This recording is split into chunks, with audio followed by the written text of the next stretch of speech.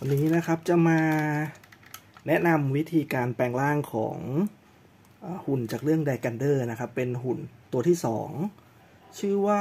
ดาโกเบิร์สนะครับ หรือดาโกบัสก็ได้ จริงๆแล้วผมเห็นหลายๆคนนะ ได้หุ่นตัวนี้มาแล้วนะครับ เพียงแต่ว่าด้วยวิธีการแปลงร่างที่ค่อนข้างยุ่งยากนะครับสำหรับผมนะผมมองว่าขั้นตอนค่อนข้างเยอะนะครับ ก็เลยมาทำคลิป แนะนำนะครับบางท่านอาจจะได้มาในร่างของหุ่นไปแล้วนะครับ บางท่านอาจจะได้มาในร่างของมังกร แต่ว่าเดี๋ยวผมจะเริ่มจากการแปลงร่างของโหมดหุ่นกลับไปเป็นมังกรก่อนอันนี้น่าจะง่ายที่สุดนะครับ อย่างแรกครับอถอดหัวนะครับ มันจะมีตัวล็อกอยู่ค่อยๆ ถอดนะครับ ค่อยๆดึงนะครับ แกะมันขึ้นมานะนี่นะครับ ถอดหัวแล้วนะครับ หัวเราพักไว้ก่อน ทีนี้นะครับลำดับต่อไปนะครับ เรามาดูที่ชิ้นอกนะครับ อกชิ้นนี้นะนะครับ เราก็งัดขึ้นครับ แล้วก็ดันเข้าล็อกนะครับ แล้วก็มาดูที่ชิ้นขานะครับ ขาท่อนนี้นะครับ สามารถดึงขึ้นมาได้นะครับ เป็น 2 จังหวะ อันนี้ 1 จังหวะนะครับ เราจะเห็นครับด้านหลังเป็นแบบนี้ แล้วนะครับ ชิ้นขานะครับ มันจะมีข้างหนึ่งนะครับพับเล็บเสร็จแล้วเนี่ยหมุนออกมาจะเป็นปืนติดที่หน้าอกล่างมังกรกับอีกอันขายข้างหนึ่งจะเป็นที่ติดเป็นหางนะครับพับเล็บลงครับ หมุนนะครับข้างหนึ่งนะครับจะเป็นปืนติดอกนะครับข้างนี้นะครับพับเล็บลงนะครับหมุน นะครับ ตัวนี้จะเป็นหาง จะมีตัวให้ให้แกะออกมาได้นะครับ มีเล็บสักนิดก็จะช่วยได้เยอะนะครับอ่าหมุนหางออกมาเรียบร้อยนะครับ ทีนี้นะครับมันก็จะห้อยๆอย่างนี้นะกลับด้านครับ กลับด้านมาเป็นด้านนี้นะแล้วก็หมุนนะครับหมุนเอวเท่าล่างนะครับ เพื่อให้ ขาที่เป็นปืนเนี่ยนะครับมาตรงกับตัวนะครับด้านที่เราหมุนขึ้นมาด้านนี้นะครับ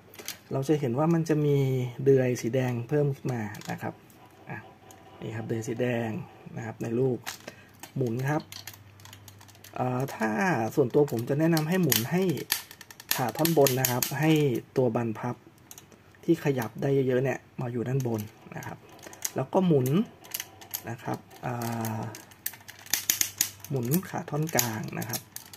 แบบนึงนะจับหมุนนะครับ ให้สีแดงนะครับ ให้ขาด้านสีแดงที่มีรูเนี่ยนะครับหงายขึ้นมานะครับ แล้วก็พับพับเข้านะครับ ให้รูไอเดียสีแดงเนี่ยมันเข้าไปอยู่เสียบกับรูที่ขาสีแดงพอดีนะครับนะนี่ครับรูกับเดือยนะครับ เสียบปั๊บล็อกนะครับยั ดกดแน่น ๆนะครับ แล้วก็พับปืนลงนะครับทีนี้จุดต่อไปครับ หางนะครับ เหมือนกันครับ ค่อยๆกลางนะครับ เอาด้านล้อลงนะครับอ่านะครับ จัดท่าได้ตามชอบเลยนะครับ อันนี้ครับพอเราหมุนด้านล้อนะครับเอาด้านล้อลงพื้นเสร็จแล้วเนี่ยยังไม่จบนะครับ เราจะเห็นว่าตอนที่เป็นแขนหุ่นเนี่ยด้านหลังนะครับ มันจะมีเหมือนกับ ตัวล็อกนะครับที่เป็นริมสีแดงๆเนี่ยนะครับอันนี้ไว้สำหรับจัดแขจัดองศาของอแขนนะครับ ตอนที่เป็นร่างมังกรนะครับ ก็คือดันไปก่อนนะครับ แล้วค่อยๆขยับค่อยๆขยับตัวแขนตรงนี้นะครับ มันก็จะสามารถปรับองศาได้นะครับ แต่ส่วนตัวดักโกเบิร์สเนี่ยนะครับ ตามออฟฟิเชียลเนี่ยจะเป็นมังกรในท่ายืนนะครับ แล้วก็ดัดดึงไว้แล้วก็หมุนแขนลงมานะครับ บิดปืนไปด้านหน้านะครับ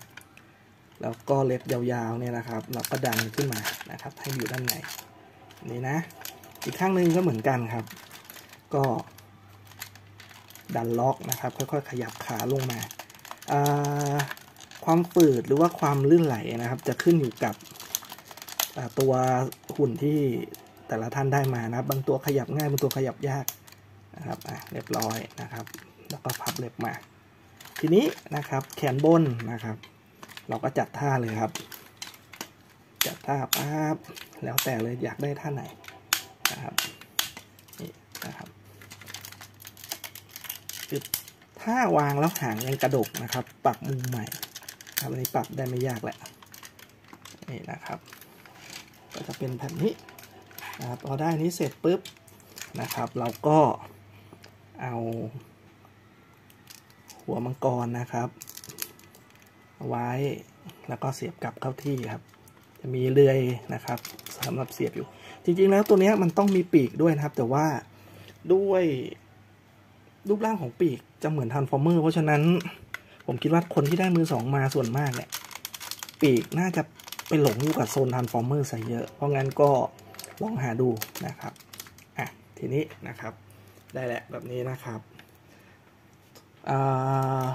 ส่วนเรื่องระบบนะครับ ส่วนมากระบบจะไม่ค่อยพัง แต่ว่าทางที่ดีคือพอได้มาแล้วนะครับ เปิดเทสระบบถ่ายคลิปทำรีวิวเสร็จแค่นั้นพอครับ เพราะว่าถ้าเอาไปแบกกับหุ่นตัวหลักอีกตัวเนี่ย โอกาสที่เฟืองรับน้ำหนักแล้วเฟืองแตกน่าจะมีนะครับเดี๋ยวเราลองเปิดดูนะครับ อย่างตัวนี้เองเนี่ย เฟืองก็น่าจะเริ่มไม่ค่อยไหวละเริ่มมีเสียงแปลกๆนะครับ ก็ประมาณนี้นะครับ